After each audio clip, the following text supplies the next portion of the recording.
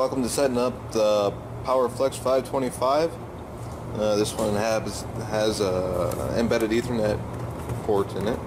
What we're going to do today is I'm going to show you the setup, uh, getting this unit set up with using uh, programming terminal, USB cable, and just the unit here.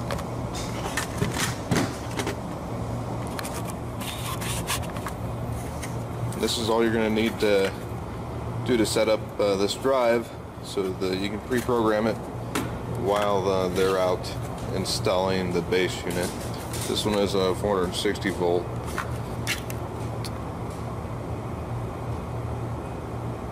Two horsepower drive.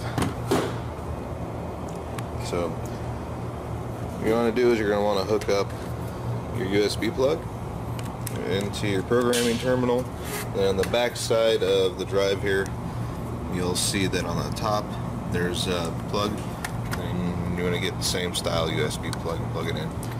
But I'm using I'm using one off of a printer right now, and that seems to be fine. As you can tell, it is plugged in, and the computer popped up an autoplay and we'll go ahead and uh, switch to the programming terminal and show you what we need to do from this point. Okay, now that we're at our uh, programming terminal, you'll see the autoplay came up. Um, but before we get into this, you're going to have to have uh, some software called uh, CCW.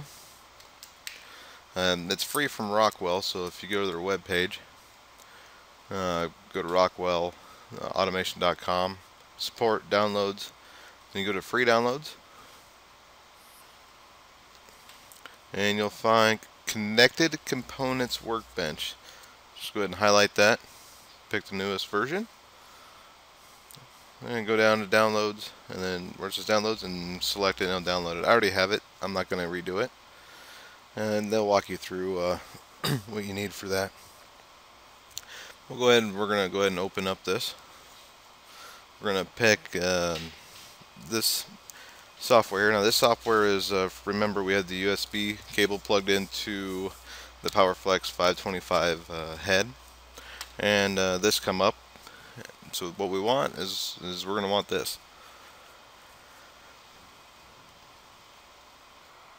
Alright, what we're going to want to do now is we're going to want to upload the um, param drive parameter data from uh, the drive. We're going to go ahead and save it to the desktop. Just so we know where it's at. We're to call it. We're to call it training,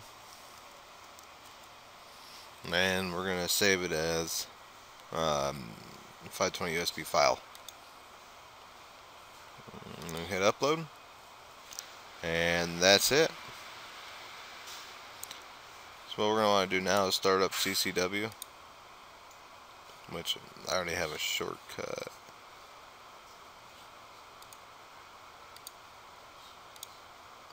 Go find it here.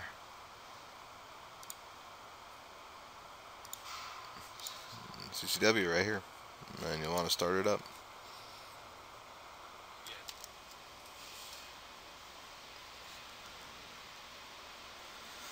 Alright, now that it's open, we're going to want to go up to File. We're going to want to Import Device. We're going to pick a drive file because the drive file is what we saved. Right here as you see. Well we didn't spell training right but this will be fine. We're going to go ahead and open her up. And populate a list. Just go ahead and double click it. It'll open up your drive. It's a three phase 460 volt two horse. Uh, now I'm going to set this up with Ethernet on uh, for our next tutorial. I'm going to go ahead and we're going to go to properties, go to communications.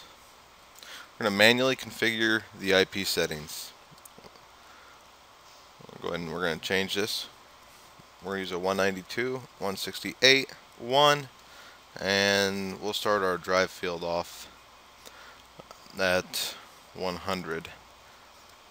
Subnet 255, 255, 255, And our gateway, our gateway is a 192.168.1.1. And that that's all we're going to need. So we'll go ahead and uh, exit this. It's going to ask if we want to save it. Yes, we do. If you go back to properties and you go to communications, you'll see that it stayed. Basic parameters. Since we are going to run this on the Ethernet, the only thing we're going to wire up is a 480 to this motor, and we're going to do everything else over Ethernet. Uh, you can set up uh, the the optional uh, relays for faults if you choose to. But for this one, we're just going to set it up over Ethernet. If you go into parameters, it'll pull up every single parameter in the drive. The easiest thing that I've found to do to set these up quickly is to go into your parameter uh, tab, the drop down, go to parameters, and then we're going to go to basic program. Here's where you'll set up uh, the voltage, the motors, current, RPMs, etc. Uh, what I'm going to do is we're just going to change the accel time to 2 seconds. And I want this drive to stop immediately. So instead of putting 0, we're going to put 0.1. And that what that'll do is that'll keep it from giving it an overfault um, if you drop down if you don't have a brake resistor.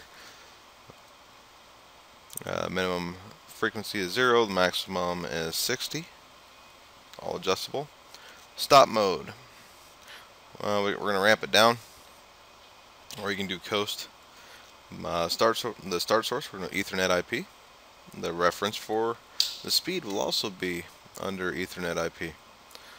And that's all we need to set up. There's nothing else in here that we need to set up unless you're going to use some some of your uh, outputs from the drive and then you get into whoops you'll get into uh, terminals where you'll have terminal terminal block and then you have 02 to run forward and trigger etc there's uh, one in here for jog. Um, here's your opto output logic uh, ready on fault normally open normally open when it faults it'll go normally closed we're not gonna we're not gonna set any of those up we're gonna go ahead and we'll go up here and we're gonna rename it we'll rename it, try to spell it right. We'll put uh, training. Uh, we'll use PowerFlex 525. Enter. We'll go ahead and save the file. And now that everything's ready, we're going to go ahead and export this. Excuse me. Let's go to properties, we'll import export, and we'll export the drive file. We want to export as a USB file. Go ahead and pick training again. We'll fix the spelling. And we'll go ahead and hit save. Okay, now that we've uh, saved it back to the desktop, we'll go ahead and minimize um, CCW. We did put two up here because we didn't save the exact same name. We do not need this one anymore. We'll go ahead and delete it. And we'll use our training 525. We'll go back to our file here. Um, oh, excuse me, we don't need the file. We already have it open still. So we'll open this up. Now what we're going to do is we're going to download. So we want to select download. We're going to browse to our desktop. We'll hit OK. It'll populate the list here for you. And go ahead and highlight it.